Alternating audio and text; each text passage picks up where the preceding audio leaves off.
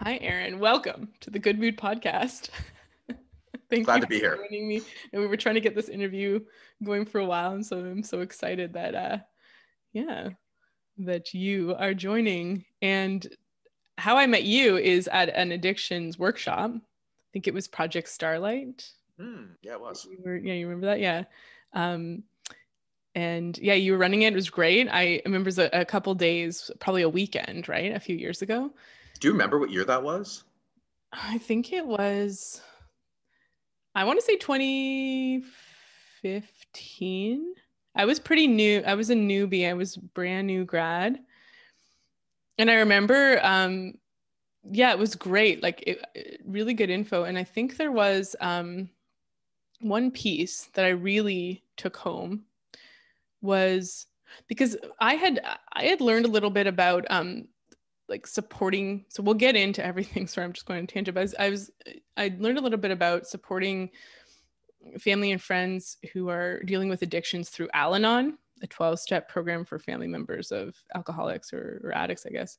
And um, there's there's this huge piece around um, and i can't even remember what it's called but it's like loving detachment or something like that. It's sort of like leaving the person to to kind of fend for themselves. And I really remember you had a different take on it that was really eye opening and helpful. And I don't know why that stuck in my mind, but it just was something that I was like, um, I guess I was feeling a lot of like certainty and conviction around my previous beliefs that this workshop kind of helped me feel like, you know, pushed you a little bit. Yeah, exactly. Yeah, yeah, yeah. Yeah. He's like, you don't know everything, Talia. So yeah and i mean carrying on. It, yeah exactly. and as you as you talk about that uh, it, like the piece that um, i always bring into any work that i'm doing and whether it's educational workshop if i've taught in, in, in a class or if i'm working with patients is that um, you know al-anon obviously friends and family of people that are going through alcohol or um,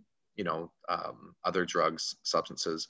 Um, it's that's the um, that's coming from a family member a support person right and um, and uh, you know I've got my own addiction mm-hmm. story, so I I get to bring in the piece of of someone who has struggled with addiction and has been on the other side, and of course, I mean, my experience is not everyone else's experience, and and just because I felt this way and, and this worked for me and and this is how my family supported me and this is how they pushed me away doesn't necessarily mean that's um, mm-hmm you know, it doesn't necessarily mean that my way is the right way. It just offers a different perspective, right? And mm-hmm. sometimes that's it's it's important for family members, loved ones to see that oh, you know what, maybe I I didn't look at it this way. Yeah. I think it's, so it's for anything. Like I don't know about you, but a lot of family members of people with mental health issues reach out to me for help for their family member, and I don't really.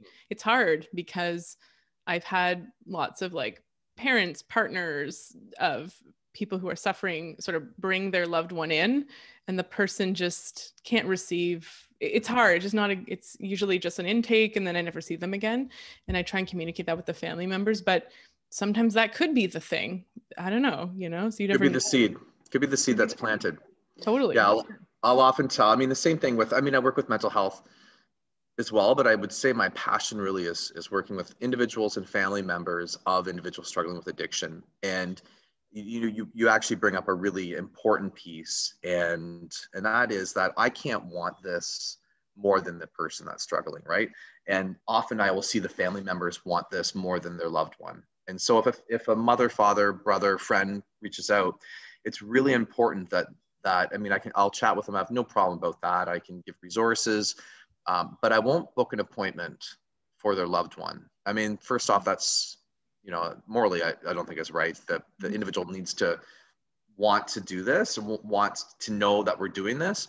Um, mm-hmm. But I also want to see a little bit of movement towards me from the other individual. You know, I'm, I'll meet you halfway. I'll even meet you three quarters of the way. I just need to take, see you take a step forward so that we can approach yeah. this together. Yeah, totally. Yeah. Like I sometimes I'll, I'll be like, go watch a few of my YouTube videos and just have them sort of see if it's even calling to them because if they're like no you know it's not just going to be a waste of your money. And it, it also is sometimes a lot of people have dealt with revolving door where they're like they've seen therapists they've seen practitioners and had to tell their story over and over again and haven't really got past the storytelling phase but it can be traumatic. You see Absolutely. all these different faces in people and you know? Yeah. And so how did you so you're you know your passion is is working with people who are dealing with addiction living with addiction. How did you get into it? We can kind of great yeah. yeah it's we talked about this before we started the play. This is how things were going to start right? So yeah exactly. um, and for all the viewers i mean i've done podcasts before and and again obviously i've shared that uh, you know i have my own lived story with addiction. Um, and i always go with this um, intention of really talking about the work that I do, the people that I help, how I help them, and how I connect them to services that um, support based services. And, and, there's always a bit of my story that gets out there, and, and I don't want that to cloud things. But, um, you know, I've, like you, I've got a YouTube channel, I've got um, Facebook videos and stuff that, that go into various aspects of, of things. I've been on other podcasts. So, mm-hmm. you know, why is it like, how is it that I got into this? Well, I mean, I never started out. I've been practicing as a naturopathic doctor um, for 17, 18 years now, since 2003. And I would say the first seven to 10 years, I wasn't really focusing, I never had this like burning desire to really work with addiction. And, um, you know, I was focusing on working on hormones and, and all that stuff. And of course, I lived out in British Columbia, Vancouver, and the scope of practice of naturopathic doctors is different than it is here in Ontario. Um, function a lot more like family doctors. So we can do a lot more acute based stuff um, and in some ways, I mean, I loved it. In some ways, it pulled me away from the naturopathic roots and some of the, you know, diet, nutrition, and stuff. Mm-hmm. And, and, the other reason why um, I wasn't really focusing in on addiction is because I was struggling with my own stuff. I didn't know it at the time. Um, you know, I had what I would have considered a healthy party life. Um, and and it wasn't until about 2013 when I realized that I I really needed help. And so that's kind of where my journey began in recovery. Mm-hmm. And also when I decided that part of my journey, like I couldn't just have addiction and struggle with addiction and not mean anything and not be able to help other people. So um, when I finally got through into um, you know the darkest deepest parts of my recovery at the beginning i realized i wanted to give back so i went back to school to become an addiction counselor and so since 2013, I've been focusing a lot of my practice on helping individuals with mental health and addiction.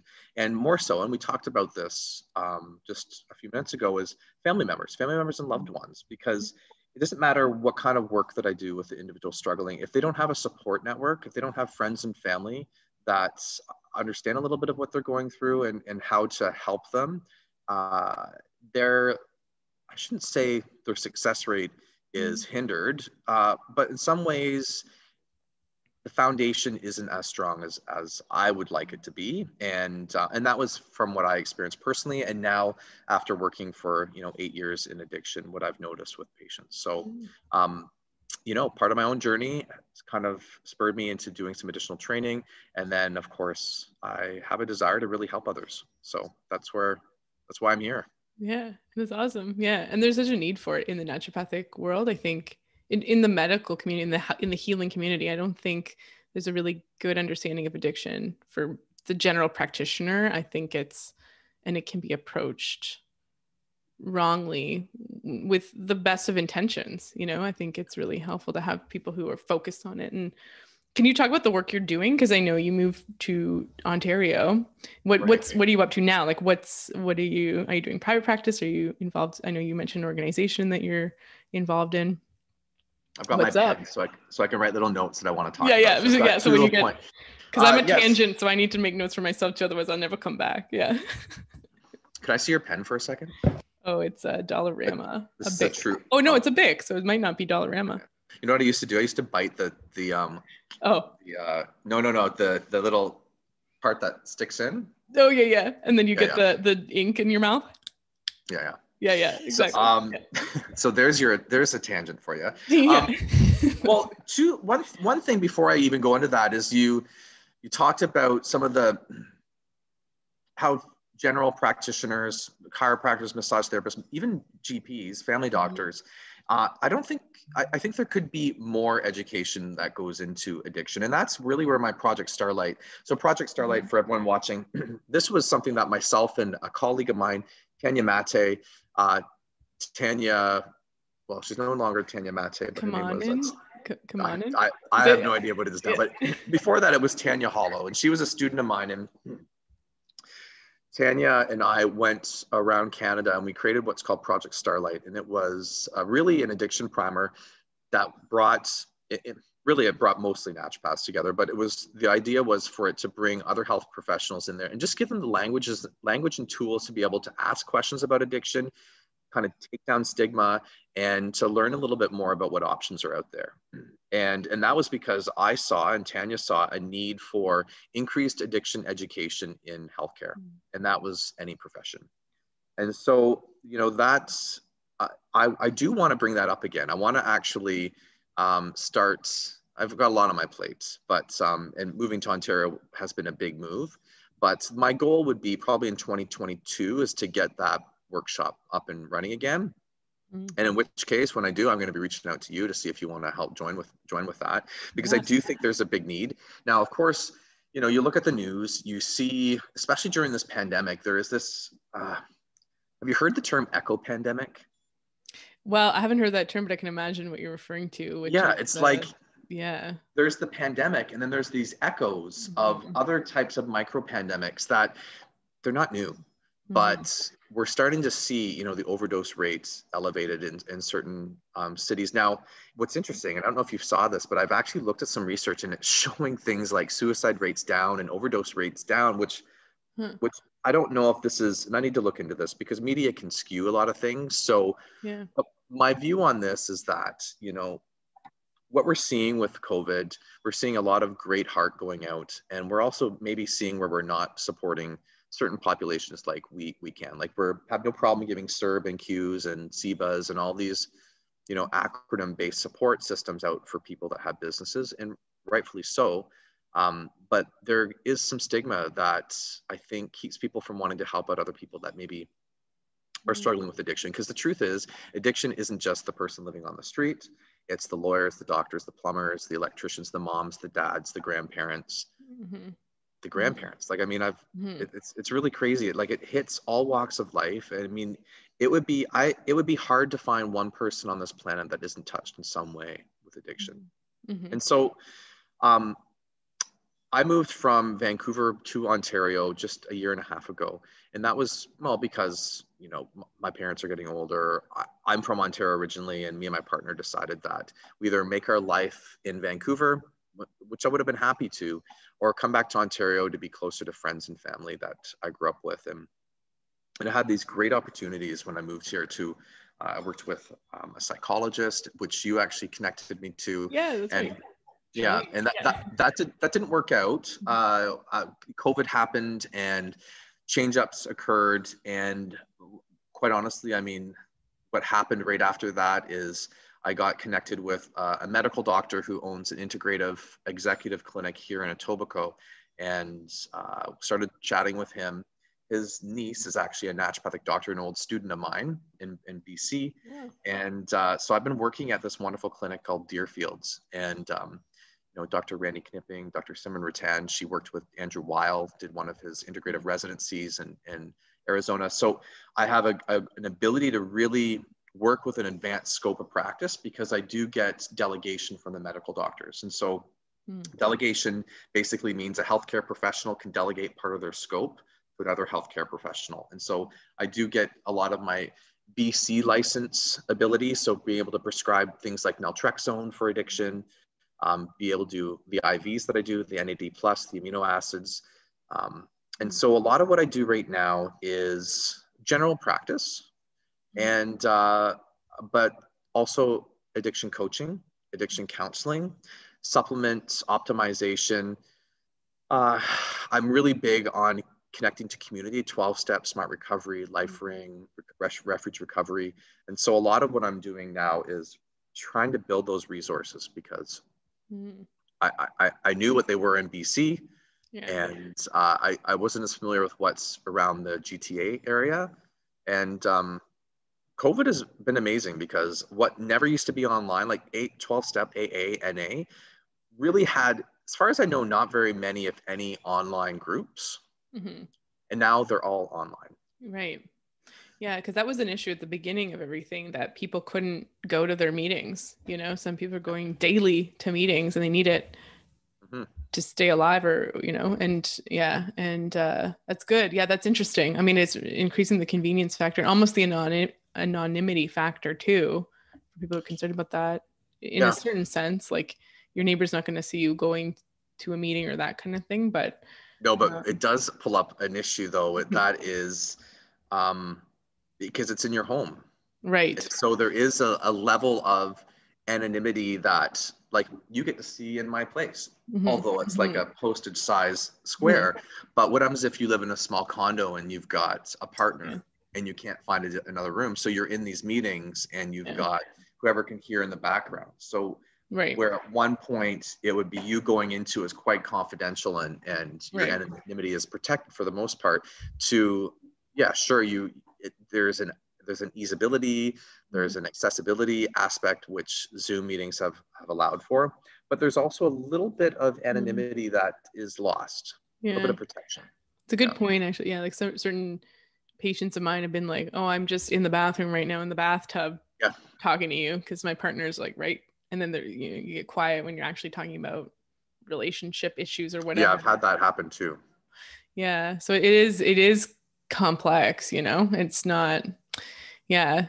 And what's what are what are some of the resources? Actually maybe you can tell me what are like when you've done work with project starlight and worked with nds what were you finding were some of the biggest uh, maybe this is a loaded question or a big question but what are some of the biggest misconceptions around addiction that health practitioners or nds had that you were like, oh, this we got to fix this?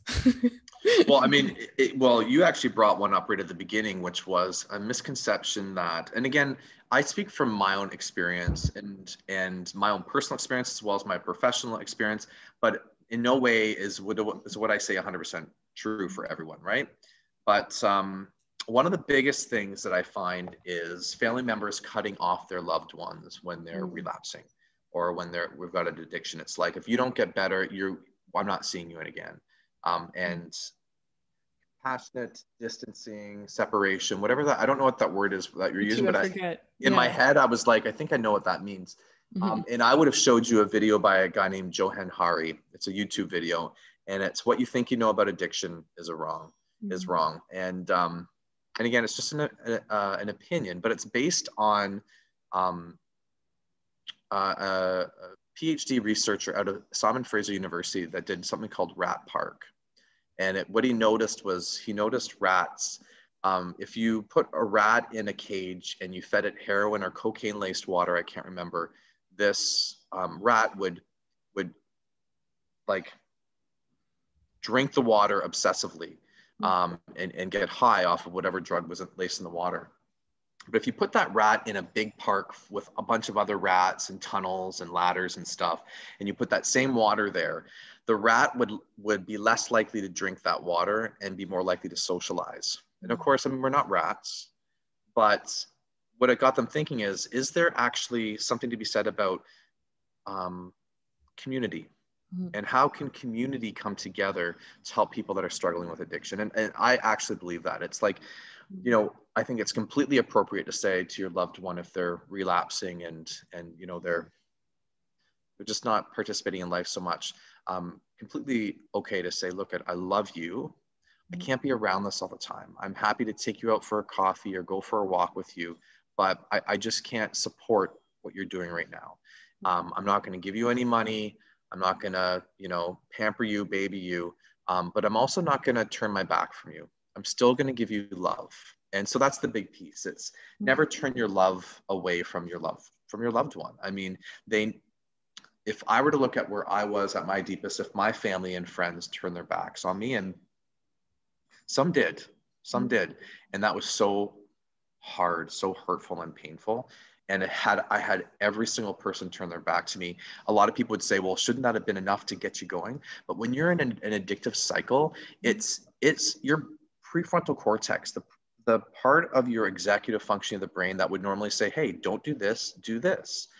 It's hijacked. Like it doesn't even have time to respond before the midbrain, that limbic system that runs on instinct and runs on, on emotion, hijacks. And so even, even though I'm an intellectual person and I had a lot going for me, I was still making decisions that brought me back into relapse. Mm-hmm. And if I knew that all my friends and family pulled their love away from me, that would be even less reason to to want to get out.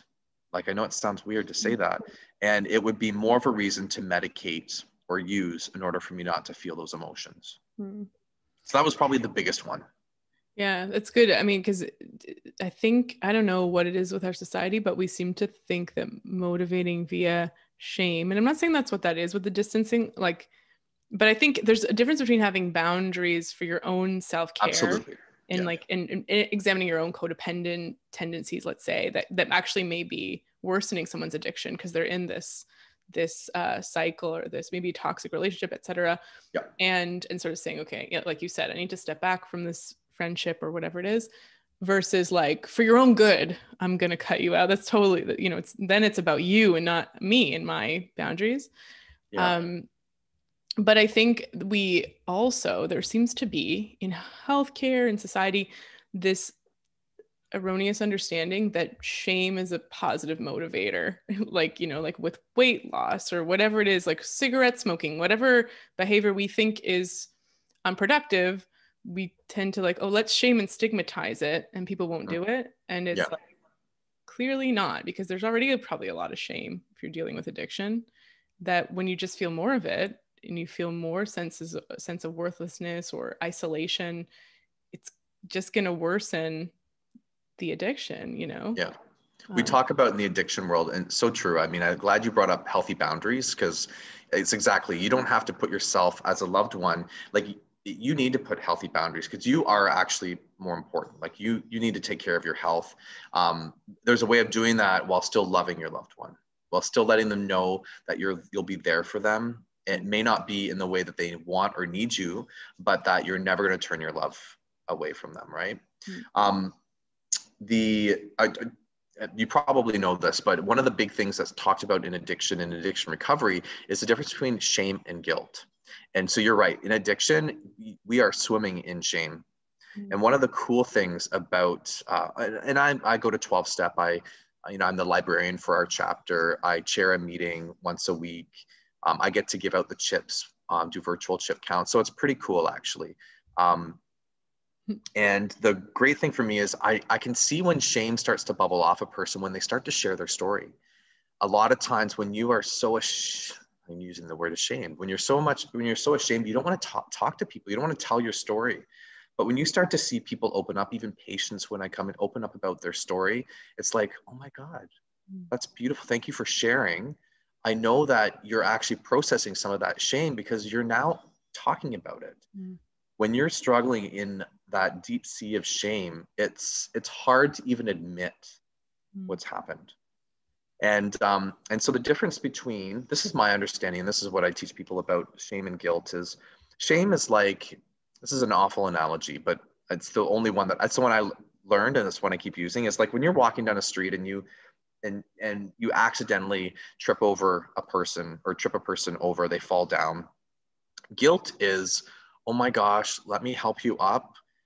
I can't believe I did that. I'm going to be more careful next time. Shame is, oh my gosh, I cannot believe I did that. I'm such a bad person. I can't, I shouldn't even have got out of the house today.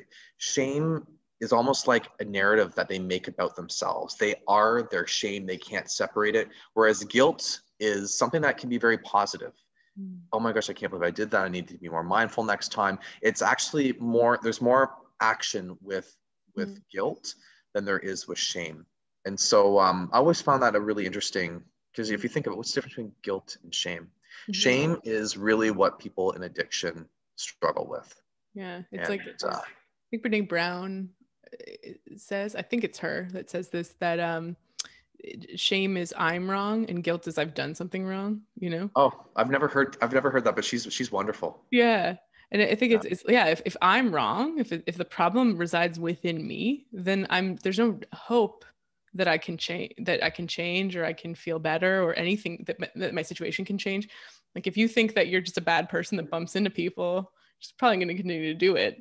But if you're like, oh, it's because I wasn't paying attention and that's not on me, you know, it's just, I'm tired today, whatever. You have some external reason for your behavior. It's a lot easier to change that behavior, you know? Can you say that again? What does she say? Shame or guilt is I've done something wrong, and shame is I am wrong. Right. Yeah. yeah. I've had a, a, a old counselor of mine saying, say to me once, Aaron, we are human beings, we are not human doings. and so just because the actions of what we do does not make us you just you do not have to internalize and personalize that. We are human beings. We're here to be. We're not what we do. And so, you know, we everyone makes mistakes. Everyone does things that we wouldn't consider, you know, wonderful, but that doesn't make it mean that's who you are. And I always thought that. You're a human being, not a human doing. Mm. Yeah, and I think it's like part of what I liked about 12 step is the opportunity to make amends that it's just part of the process that it's like a given that you're going to need to you know? Yeah. Yeah, like, yeah for sure. but even for everybody even for al-anon and codependence anonymous it's, it's one of the step step eight.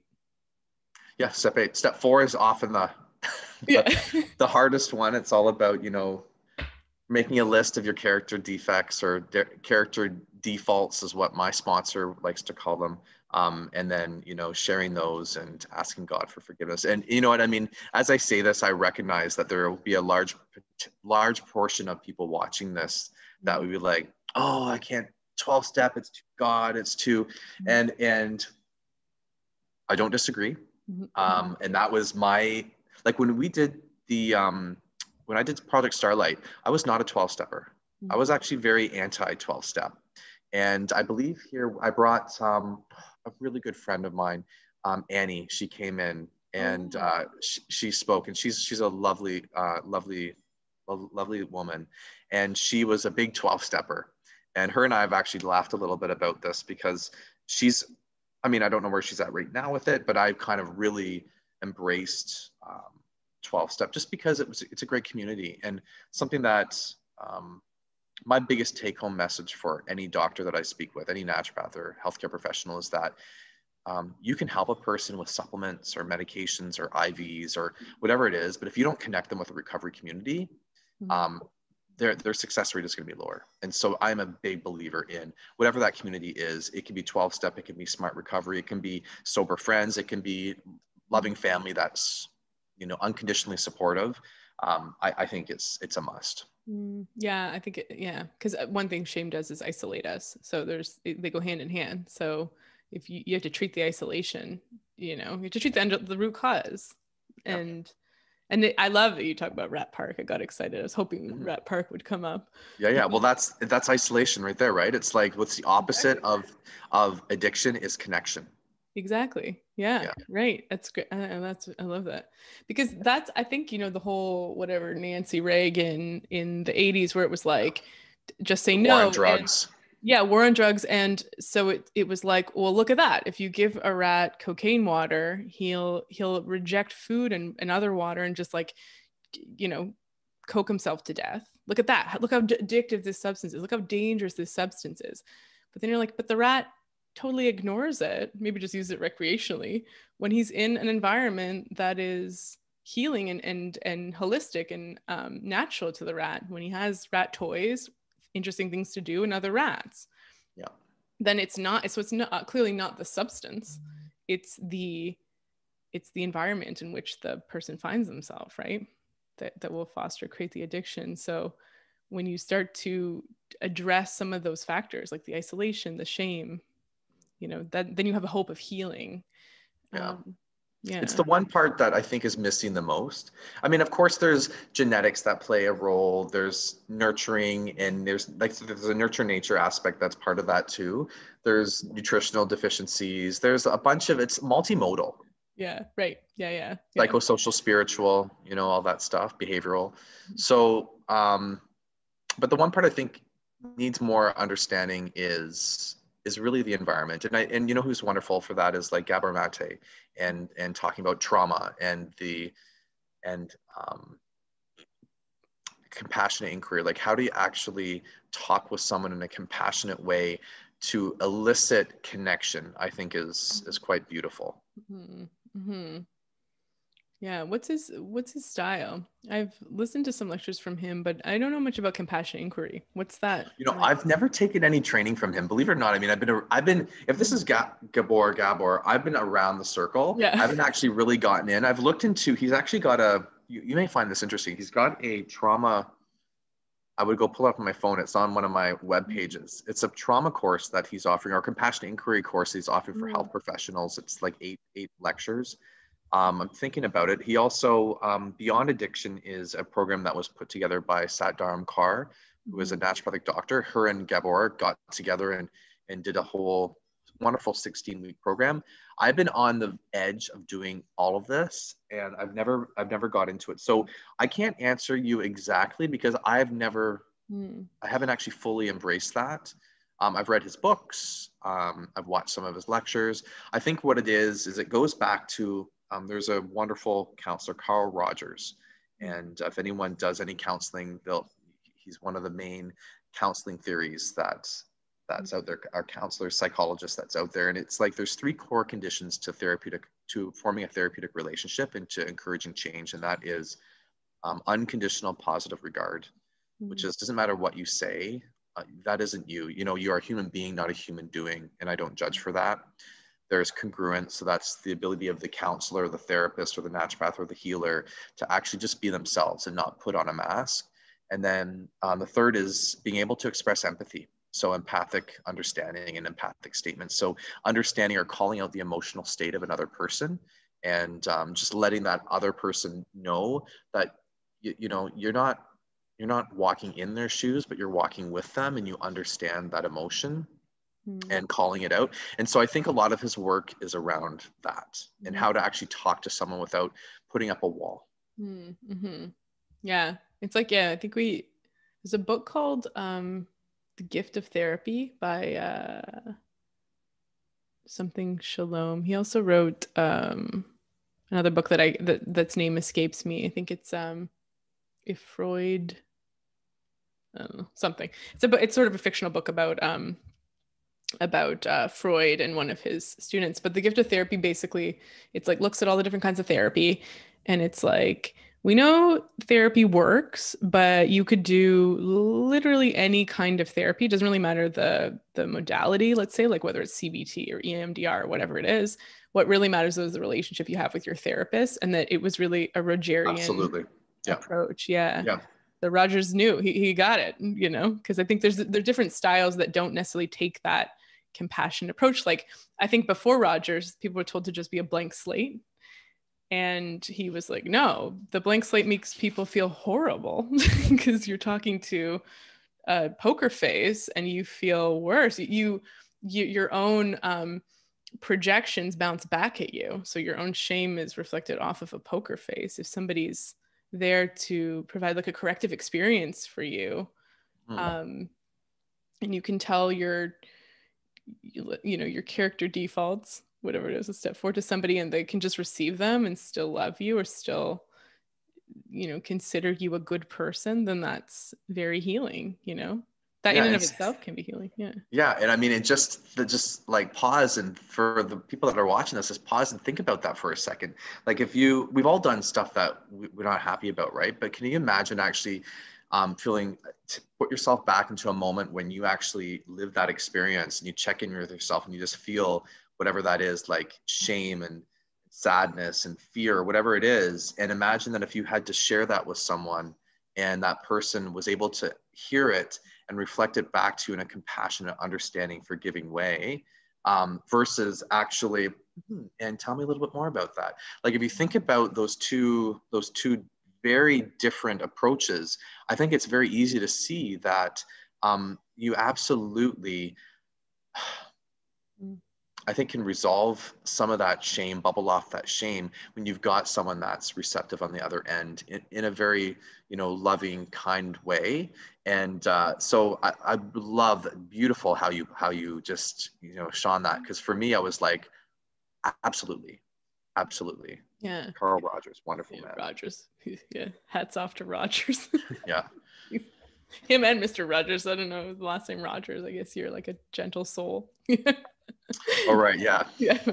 But I think, well, um, what was I going to say? But that is also this idea of inquiry, like curiosity, you know, mm. I think is helpful because when we're trying to, we can't change something that we don't understand. You know, so someone's coming with the with the goal of change. Um, it's helpful to really kind of you want to carve something out of your life you got to contour the edges you have to be, be able to understand how it fits in your life you know and so but from a from a non-judgmental stance like you know what what what has my history been when has you know when have i I say narrative therapy like when i when i have not been doing my preferred behavior or being in my preferred identity you know? Like when when have i uh, not been doing what i would prefer to be doing? And so really understanding that can help with you can't change it if you don't understand it you know? Yeah. So yeah. It's being it's being curious. I love really i mean i tell patients let's be curious you yeah. know I like let's ask questions. Let's be curious about that. So I think that's such an important aspect to really understanding ourselves and where we're going and where we where we come from. That's beautiful. Hmm. Can we talk about harm reduction? That's an interesting. Such a it's a I love it and it's such a controversial topic and I think I can talk about a bunch of different aspects of it. Let me start off with something that I find I, I hate politics, but I mean, it exists. Um, but if you're looking at the different camps of treatment, like there really are two different camps, right? There are the harm reductionist camps, and harm reduction is really um, how do you reduce the harms of a substance while still possibly having substances in a person's life um, and allowing them to improve their quality of life and allow them to integrate more into society. And so the examples of that would be the safe injection site. So if you're uh, someone who uses heroin, let's do it in a safe environment where the infection rate's going down and the death rates or overdose death rates are going down because you're in a safe environment. Harm mm-hmm. reduction could also be, you know, switching, this is debatable, switching cigarettes to vaping. Mm-hmm. Um, and then there's the abstinence camp, which is, you know, complete abstinence. So I'm I am so for both, and I think everyone's individual. And quite honestly, and this is where me and my friend Annie really divulged because she was a true abstinence camp and I was true harm reduction. What's interesting about my story is that I, even in my recovery, I still would drink alcohol occasionally and I still smoke pot. Mm-hmm. And uh, and that's I, I no longer I, I'm fully abstinent now, but that was part of my recovery. Part of my journey was harm reduction. So for me, I was very much, I lived a life of harm reduction.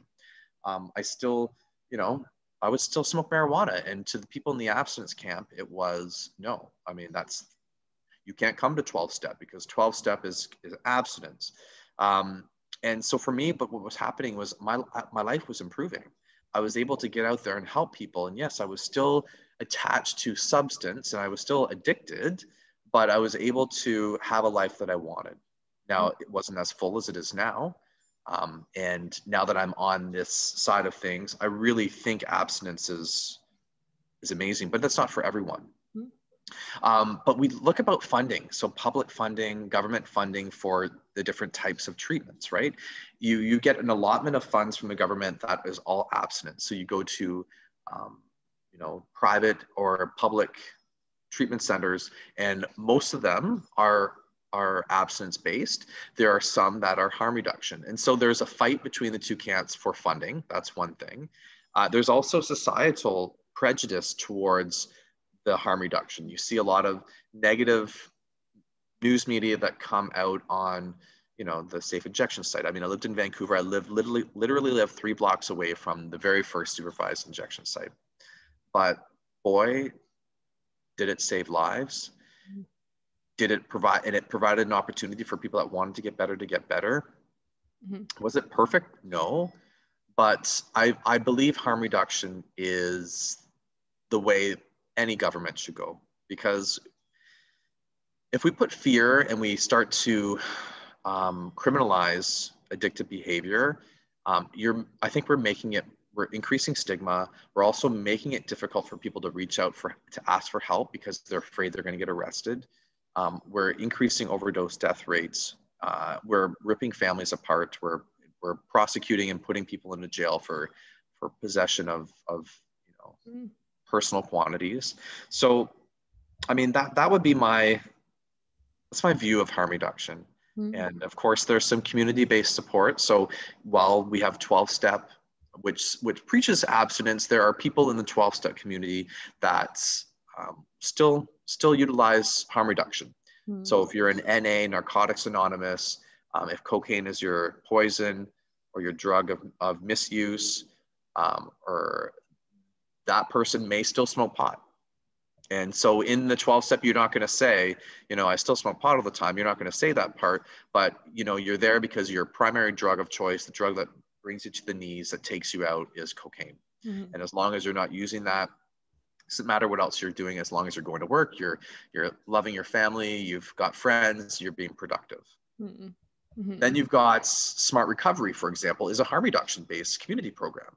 And so if you are someone that likes more of the science and dealing with urges, coping strategies, understanding triggers, Smart Recovery is, is the community based support. And they talk about harm reduction and it's not abstinence based.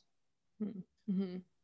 It's like having like yeah. different flavors you can, you know, because not everyone's going to resonate with abstinence right off the bat but mm.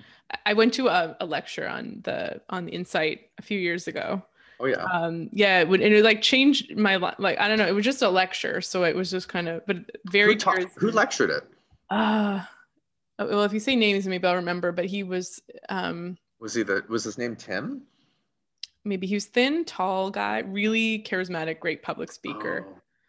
Um, I knew a few people from there. Um, I don't know if sort of had like a rock star background, or he had some sort of uh, unconventional background. It wasn't like a healthcare background or something. It was more like he's more artistic. Did he work uh, there? I think so. He he wasn't one of the founders, but he was featured in um, publications on it, maybe okay. the newspaper. But he gave the lecture, um, and just the statistics were just like completely it was one of those things where you're like it's clearly political why this can't why this isn't in every major city in canada. You know the idea that the the issues with yeah it was like you know somebody who uses heroin is oftentimes like hiding behind a dumpster injecting puddle water you know? Oh my gosh yeah. Or even the idea that most they were saying that most um, female identifying users do not know how to self inject, that they rely on pimps, partners, dealers to do it for them, and that they can even just empower you to be able to inject yourself with your own substance, you know? Um, and that that empowerment was leading to, again, like decreasing the stigma and, and bubbling off the shame and incur and giving people a sense of autonomy and potentially increasing the chance that someone would want to right. abstain you know? It's almost like yeah um but with that yeah when you're steeped in shame hiding behind a dumpster you're not going to be like oh uh, you know i'm going to be abstinent tomorrow. Maybe you will but it, the chances of that happening you know? It's, yeah. it's stuff you're working against a lot. Um yeah it was really it was really great. And i think in toronto there is one but i haven't heard much about it. Really is there really? On queen west i thought that they had oh, one up. Maybe I, maybe i heard about that yeah. you know it's it's it's it's fascinating i mean i thank you for sharing that because i actually hadn't heard it from the part of empowering women to, to self-inject um, because you're right actually a lot of it is being relied relied upon from someone else and then you're actually giving not only are you giving your power away to the drug but you're also giving it to the pimp or the dealer or whoever else it is right hmm. uh, there's so much controversy around that i mean i just two things. One is let me share my story about the safe injection site. So I I taught at Boucher Institute of Naturopathic Medicine for 12 years, and that, so that's the naturopathic college that's out in New West, just outside of Vancouver. And one of the second year courses that I taught, um, there it was all project based and we would separate in groups and one of the groups was always addiction and i always encouraged each group to actually check out the safe injection site and so the students would go down and they would do a morning an hour tour of the safe injection site before it because it closed between 6 a.m and 10 a.m for cleaning mm-hmm. and so they would go in at 9 do a tour and um, they'd come back and it would change their lives like i would have people like i can still think of two people right now two students that were so against mm-hmm. um, like safe injection that they came back and it was like you could see tears in these people's eyes and because i think it's hard not to see how much human compassion is involved with with this because this is a very marginalized community and their lives do mean something right and for a lot of time these individuals think their lives don't mean anything mm-hmm. and can you mm-hmm. imagine like how much would you want to get out of addiction if you feel like you're shit and everyone else thinks that you're shit so to give them some autonomy to give them some self-worth um, it, hey and, and, your idea of self-worth may not be what their idea of self-worth is but sharing what you did about being able to inject yourself i mean it sounds silly but no mm-hmm. that can be huge and it may be enough to get them to say you know what? If i can do that maybe i can get out of this. Maybe i can change my life. The second part of that is when i was doing my so i did my um, addiction counseling program through vancouver community college which is again just down the street from there and i had to do a practicum and one of my patients uh, was a nurse practitioner that worked um, out of on-site, which is the uh, so the Insite was the safe injection part, and on-site was actually a, a, transitional on-site residence where people could live for 30 or 60 days. Mm-hmm. Um, and the hope was to get them out of that world. And I remember touring. I was going to do my practicum. I never ended up doing it with with him. Um, which is too bad. I mean, I could have done it. I don't know why I didn't now that I think about it. But I was, we went and toured on site. When we came out, like when we walked in, there was a group of maybe 12 people outside, all injecting on, on Hastings Street. We walked upstairs, came out, and as we're leaving and walking away from that area, we hear someone get the Narcan. And it was crazy. Like I got to see the nurse practitioner I was with went in and, you know, got the Narcan, which basically reverses the overdose and I saw a whole community of nurse practitioners, of people that were struggling with drug, drug addiction, come together and help this young young guy, early 20s, um, who they could see leaving this life. And it was just like, even as I tell this, I still get, um, I can still feel those emotions because in that moment I was frozen, and it was like, I get to see people that you would never think would just they just came together to help this one young boy. He survived, thankfully. It was crazy to see how quickly that revived, but like, oh my gosh, that was that changed my life. Now, when it comes to um, it's a community. I mean, mm.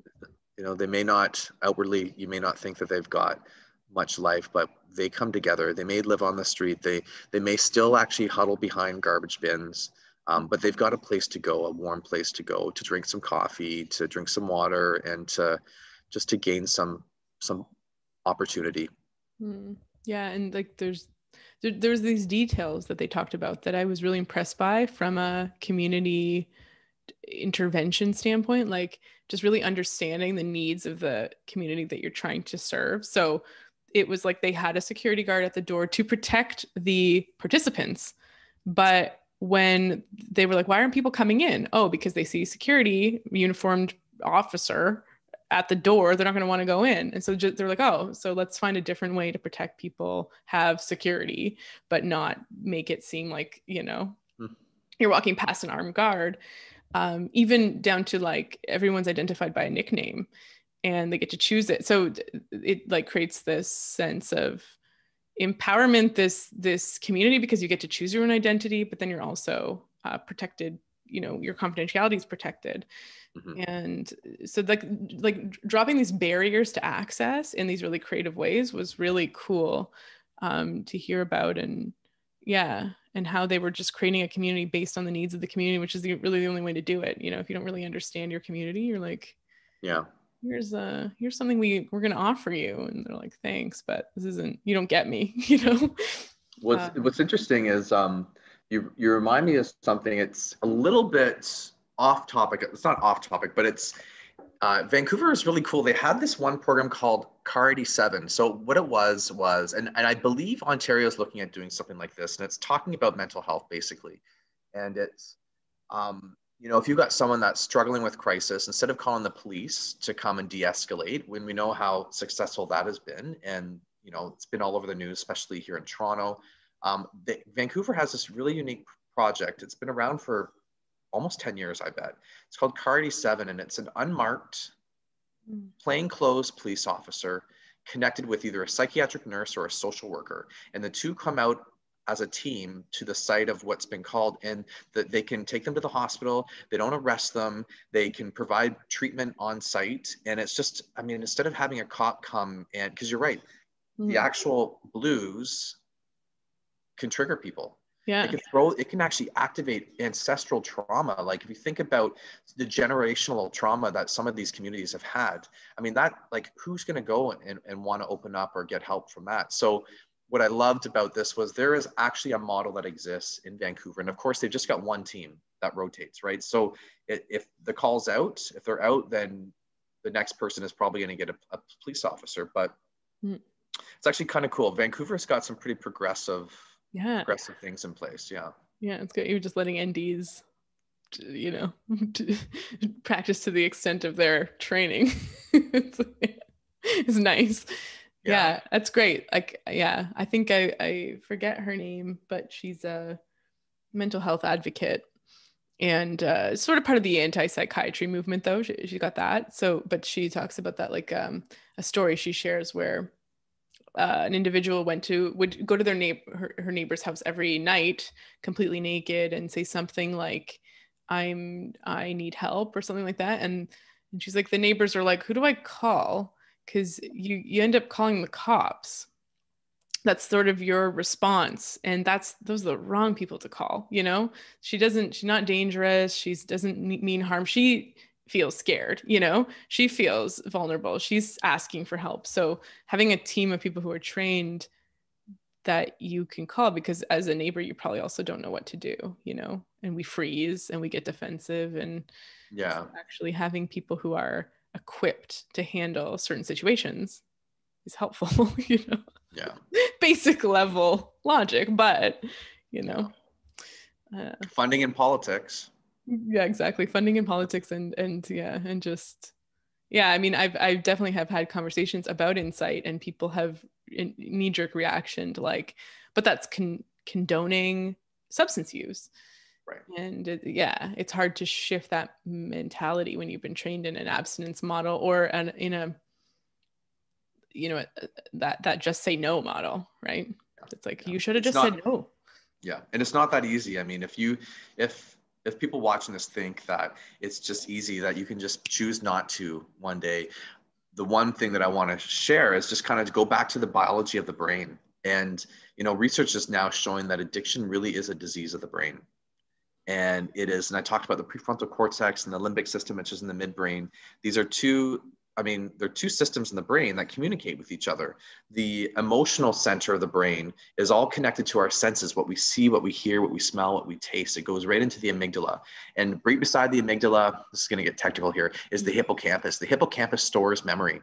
And so what happens, like if I were to say, everyone has this experience and is, you know, you've walked down the street, you've heard a song, or you smell a smell and you're like, whoa, I remember I was eight years old when this happened. Like, how many of us have these experiences? That's how powerful. In that split second of hearing that sound or smelling that baked bread, you're brought back to a memory years ago. That's kind of what addiction's like. You see these triggers, these cues that happen, and your brain automatically remembers the state of being high. And being high is really a state of dopamine. And dopamine allows us to feel good. And that is one learned way of feeling good. You're going to go back to that. And if you keep doing that over and over again, it's like a record player, a record on a record player. The more times that loop is played, the deeper that groove gets, the harder it is to get out of it.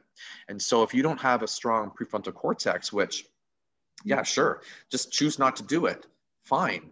But the truth is, and I'll speak from experience here, when I was, this was years ago, but I remember when I was doing cocaine somewhat regularly, this would have been like in my 20s I remember that whenever we would call the dealer, I would feel high even before I even did a line of coke because my anticipation of using already got that dopamine hit in my brain.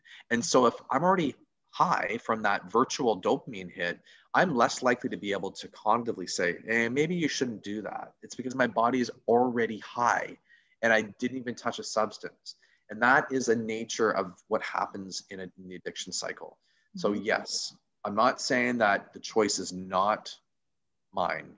You know, mm-hmm. someone struggling with addiction, absolutely. In the end, we have that choice, and we chose to use substances at one point. Um, but eventually there comes a point where if we don't have the tools and skills that help us kind of ride those urges mm-hmm. and just kind of sit on our hands and not act and let those urges kind of dissipate, we will start to do what we know best, and that is to pick up and use. Yeah. I'm really glad you you said that because I say that to my patients all the time. I'm ta- telling them about any beha- any learned behavior that they're trying to change. Uh, you know that anything you crave. So the, the the classic. I'll try to do this quickly, but like the classic. Oh, I feel so great after yoga, but I never want to do it. But I I want to eat chips or whatever, and I actually fantasize and get excited about going to buy the chips because it you know so dopamine is really about getting the reward. But then in, in certain certain substances and certain things in our environment even things like gambling sex can boost your dopamine. So you get a hit when you've received the reward as well which you don't really get from a yoga class. You don't get like a oh i'm i'm super high and like stimulated dopamine with yoga. It's more like serotonin. You feel content you feel relaxed you feel good. But you, your brain doesn't really lay down the pathway to get there in the way it does with a dopamine boosting activity. So it's like drops down a window pane. You know, if you have a crack or a, a fissure in the window, there's it's more likely the drops are going to go down there, and it's like it's like you know th- that train track in the brain is like reinforced the more you hit it with dopamine, and so you said yeah like you smell baked bread. If that's connected to that track it'll just start the whole thing going and you really don't have much of a chance of getting getting it to rewire once it's already in action. And like you know so it's tough. It's tough to get off that like because we're trying to move to maybe less um, intrinsic like less rewarding behaviors from that dopamine perspective. We're trying to move to more maybe serotonin based stuff but you have to really like change those pathways in the brain which is really tough to do especially yeah. if the if the things that feed the pathway are still there which is part of that like understanding you know where does it start? Yeah but that's that's a common thing. It's like i get i get high thinking about it. I get high calling my dealer. That's that's like super common. Like my patients they're like i'm on the subway. I'm planning my chips you know? And it's it can be something dumb like that but it's like that. It's like you're already excited about it and the chips are kind of irrelevant in that point but it's already it's happening. Like you're not yeah. going to get off the train once no it's not it's not easy to do that. Yeah. And that's where things like cognitive behavioral therapy or mindfulness based cognitive mindfulness based cognitive behavioral therapy yeah yeah M- MBCT. pops in. Yeah, yeah, yeah. um and uh, and you said it's it's exactly that it's um you get once you're on the track it's hard to get off and mm-hmm. so there are some tools um, and like the mindfulness based, cognitive behavioral based. Um, and then the other thing I wanted to say is we talk about in 12 step is people, places, and things. Mm. It's like who are the people, where are the places, and what are the things that actually trigger? And a trigger is an emotional cue. Mm. It can be a sound, it can be a smell, it can be a taste, it can be a person, it can be a play, it can be all these things that um, just make it a little more difficult. So when I'm working with someone in early recovery, I want to minimize the amount of environmental or triggering cues that happen. Mm-hmm. Of hmm. course, you cannot cleanse everything. You can't sterilize your life. But that's what's great about inpatient treatments because you're in a protected environment. You almost don't have to worry about just can I walk down the street and not get high or you know is the alarm clock going to wake me up and I'm going to want to use. Mm-hmm. So there's a bit of protection and if you create a little bit of space where that record isn't looping or I love that you know scratch on a on a pane of glass the drip going through it. Like if you actually give some space between um, or reduce the amount of times this is happening, you'll actually start to create different pathways you know mm. what fires together wires together in the brain. So if the neurons in the brain are firing to create a circuit the more times they fire they'll actually wire and grow together. And that's what's called brain plasticity. We can actually create different plas- different we can encourage that plasticity and take advantage of that by creating different routines. And that that is where a lot of this behavior like cognitive and mindfulness based therapies come into play. It also comes into like you know you know if someone is struggling with addiction maybe we talk about circles of friends and family you know? The immediate circle are the people that want the best for you and they're going to support you no matter what. They are safe people to be around second circle are people that maybe have unhealthy relationships with, but they're still good people. You still want them in their life. It just means you're not going to go to their house and hang out with them. You're going to maybe go for a coffee with them for a short period of time, or you're going to chat with them on the phone. And then there's that third circle, which are people that are absolutely unhealthy. They're your drug dealers. You need to actually drop their numbers and and push them out of your life. And mm-hmm. you know what's interesting is eh, you may think some people may think it's well obviously that's a big thing but a lot of people struggling with addiction start to develop friendships with or acquaintanceships with people they're using with. And and it's hard. Like i the amount of people in the fellowship that i go to that have a hard time deleting phone numbers it like it just i, I get it because i mean i was there but I, i'm like hmm. a good visiting a, a, fellow of mine it's like just delete the freaking number and he just won't. And Mm-hmm. It's because there's this friendship, or it's this fear that if I really wanted to pick up, I'm not going to have that number. Right. Yeah. Yeah, I think it, it, it's for me deleting numbers has always been has always been about like it it completely eliminates that possibility, and I that's you don't want that because just right. you, you what I want to know if that person ever finished their kitchen renovation. Like I don't know, like you you want to you want to be in touch with the story. You want the possibility there yeah. deleting cutting off is really i don't know. Yeah it sort of shuts down a a possibility for adventure or discovery or something like that that uh, a brain that might need more dopamine probably has a hard time letting go of you know? Yeah yeah. Yeah. You want you want to like have like it's hard to yeah you want all these different possibilities open. That's exciting. You want openness you know? Um, it's tough though yeah. It's a good point. It's not I, I there's a poem called I think it's called A Crack in the Sidewalk. Have you heard of oh, this poem? No, I haven't. I don't know. I I'll I'll just kind of state it, but it's um it's basically like I see a crack in the sidewalk, I fall in, I didn't I didn't see it, I didn't know. Oh, I do know this. you know that one? Yeah. Yeah. And so basically, yeah, she's sort of like walking down, falling in the crack, and it's like, okay, now it's actually oh no, I walk I fall I, I fall in, it's not my fault. I I it takes me a while to get out then you sort of learn she starts saying it is my fault by now because i fell in like the fourth time and now i know i immediately had to get out but i still am falling in. And then finally she's like i walked down a different street. Yeah. And i think you know about essentially it's about neuroplasticity but possibly addiction too you know where it's like yeah where if you drop you got a crack in the glass and you're starting to pour water down it definitely one's going to go in the crack you know? Yeah it's gonna it's gonna choose that path and go through. So you gotta like maybe just another glass or really keep away from the crack. But yeah if having this person's number in your phone every time they text you you are overcome with cravings and urges to to slip back into behaviors that you don't want then it's yeah you gotta get it yeah. It's like we say like root cause like what's upstream from that whole thing. Mm-hmm. and yeah. All right aaron i know you said you wanted to you had something at five, but any last thoughts? I know we could keep talking like this is. Oh yeah, this is so uh, yeah, and and we probably should. We should do like a part two of this. Yeah, let's um, do it for sure. Um, the well, you talked about the little poem, and I totally remember that too. It's it's a great poem. Um, one of the things that, and this is something that I think everyone could use a reminding in, and there's this beautiful piece of literature in NA and it's called Yesterday, Today, Tomorrow. And basically, the gist of the poem is that us as humans are often so preoccupied with what happened yesterday and what we should have done, what we could have done. Um, and if we're not, you know, upset or frustrated or want, wishing we could have changed something from yesterday, we're always wondering about what tomorrow is going to bring. You know, um, how's this going to play out? You know, what am I going to be doing? And the truth is, none of those days hold any power on our. We, we should not allow any of those days to hold any power in the present moment because all we actually have is right now. And so I find that super helpful for me in that if I do feel anxiety, if I feel stress, if I find myself ruminating and preoccupied with these thoughts that are just a negative spiral, which can lead to wanting to cope with addiction or cope with eating or whatever it may be. Just remember that all we actually really have is today and in this moment.